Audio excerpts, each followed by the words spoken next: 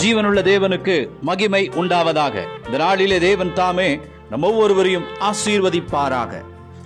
இந்த நாளின் தியானத்திற்காக சங்கீதங்களின் புஸ்தகம் இருபத்தி ஒன்பதாம் சங்கீதம். அதனுடைய பதினோராவது வேத வசனத்தை நான் வாசித்து தியானிப்போம். கர்த்தர் தமது ஜனத்திற்கு பலன் கொடுப்பார். கர்த்தர் தமது ஜனத்திற்கு சமாதானம் அருளி அவர்களை ஆசீர்வதிப்பார். ஆமேன். இந்த வேதவசனம் சொல்லுகிறது எனக்கு அன்பான தேவஜனமே இந்த நாளிலே கர்த்தர் சொல்லுகிறதான ஒரு வார்த்தை என்னவென்று சொன்னால் கர்த்தர் தமது ஜனத்திற்கு பலன் கொடுப்பார் என்று சொல்லப்பட்டிருக்கிறது. ஆமேன். இந்த நாளிலே அநேக ஜனங்கள் இன்றைக்கு தங்கள் பலனை இழந்து ஆமென் சோத்திர அழுக பலன் இல்லாமல் அமேன் ஸ்தோத்திர பேச பலன் இல்லாமல் எதற்குமே பலன் அமேன் இழந்து போன சூழ்நிலைமையிலே இருக்கிற ஜனங்களை அநேகரை நாம் பார்க்கிறோம்.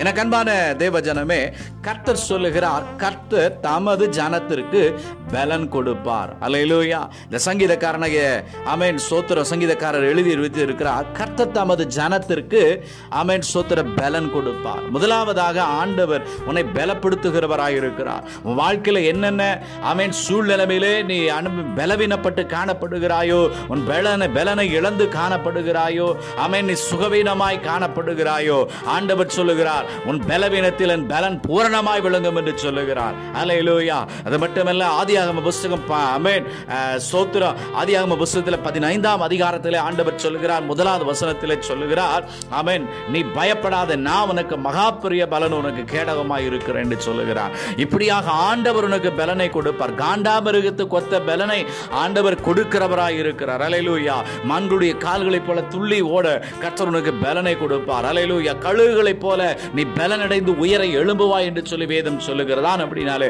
கத்தருடைய பலன் ஆமேன். சொத்த எந்த சத்துருவின் அதிகாரங்களும் எந்த வைரஸ் கிருமிகளும் எதுவுமே நம்மை அணுகாதபடிக்கு நம்மை நெருங்காதபடிக்கு கத்த நம்மை பாதுகாத்துக் கொள்ளுவார் பிரியமானவர்களே. ஆலை லூயா நாளிலும் சோர்ந்து போகாதபடி பலனற்று போகாதபடி ஆலை லூயா அமேன் சோத்திர சங்கீதத்தில் நான் வாசிக்கிறது போல அழுவதற்கு நாங்கள் எங்களுக்கு பலன் இல்லாதிருந்தோம் என்று சொல்லப்பட்டிருக்கிறது.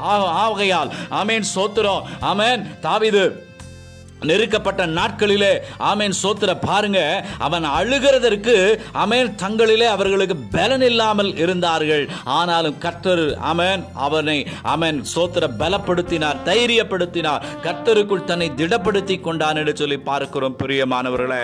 அது மட்டுமல்ல ஆண்டவர் சொல்லுகிறார் கர்த்தர் தமது ஜனத்திற்கு சமாதானம் அருளுகிறார். அலையலூயா உன் வீட்டில் அமேன் சமாதானம் இல்லாம அமேன் சோத்திரம் மிகுந்த போராட்டத்தின் நடுவில் அமேன் ஒருவரை ஒருவர் ஆமேன். வீட்டில் சண்டைகளும் சச்சரவுகளும் இருந்து கொண்டிருக்கிற சூழ்நிலைமையில கத்த சொல்லுகிறார் உன் குடும்பத்திற்கு சமாதானத்தை அருளுவேன் என்று சொல்லி கத்த சொல்லுகிறார். அல்லேலூயா ஆமேன் அடுத்ததாக சொல்லுகிற பலனை கொடுத்தவர் அடுத்தது சொல்றாரு பலனை கொடுத்த உடனே உன் குடும்பத்தில் ஒரு சமாதானம் கடந்து வரும். அல்லேலூயா இந்த நாட்களில் எல்லாரும் ஆமேன் சோத்திர ஆமேன் லாக்டவுன் நாட்கள் எல்லாரும் வீட்டில் இருக்கிறோம். ஆமேன் சமாதானத்தை இழந்து போன சூழ்நிலைமையில் இருக்கிறீர்களா?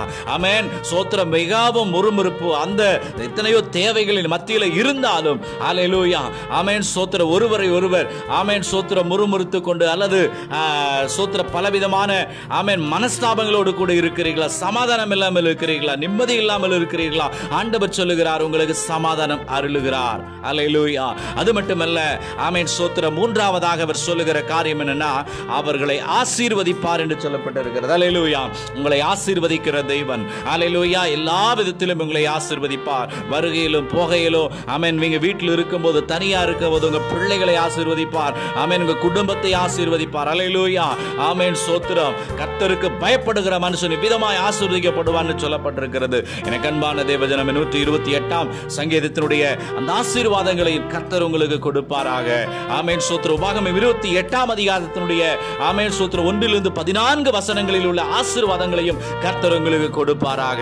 ஆலையிலூயா கர்த்தர் தமது ஜனத்திற்கு ஆமேன் சோத்திரம் ஆலையிலூயா பலன் கொடுத்து அவர்களுக்கு சமாதானம் அருளி செய்து ஆலையிலூயா அவர்களை ஆசீர்வதிக்கிறார் என்று சொல்லப்பட்டிருக்கிறது.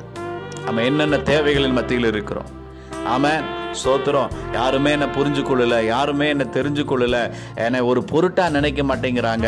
ஆமேன் சோத்திரம். யாருக்காவது நான் ஆமேன் சோத்திரம் ஃபோன் செய்து யாரையாவது கூப்பிட்டு பேசலாம் அப்படின்னு சொன்னால் ஆமேன் யாராவது என்ன ஆமேன் சோத்திரம் மிகவும் என்னைய என்ன செய்கிறாங்க சோத்திரம் என்னுடைய ஃபோனை துண்டிச்சிடுறாங்க என்கிட்ட பேச விரும்ப மாட்டேங்கிறாங்க அப்படின்னு சொல்கிறீங்களா கத்து உங்களை பலன் கொ- உங்களுக்கு பலன் கொடுத்து ஆமேன் சோத்திரம் ஆமேன் அலையிலூயா உங்களுக்கு சமாதானம் கொடுத்து ஆமேன் உங்களை ஆசீர்வதிக்கிறார். அவன் மூன்று ஆசீர்வாதங்களை கர்த்தர் உங்களுக்கு கொடுக்கிறார். ஆனபடினாலே பிரியமானவுள்ள நம் கலங்க தேவையில்லை. நாம் கவலைப்பட தேவையில்லை. நாம் வருத்தப்பட தேவையில்லை. அலையிலூயா ஆமேன் சோ கர்த்தத்தாமே இன்னும் தேவன் நம்மை பலப்படுத்தி ஆமேன் சோத்திரம் நம்மை ஆசீர்வதிப்பாராக. ஹalleluya இந்த நாளிலே நாம் கண்களை மூடி நாம் ஜெபிப்போம். பரிசுத்தமிழ பிதாவே ஆண்டவர் இதை பார்த்து கொண்டிருக்கிற ஒவ்வொருவரையும் கத்தர் தாமே ஆசீர்வதிப்பீராக. அவருடைய தேவைகளெல்லாம் எல்லாம் சந்திப்பீராக.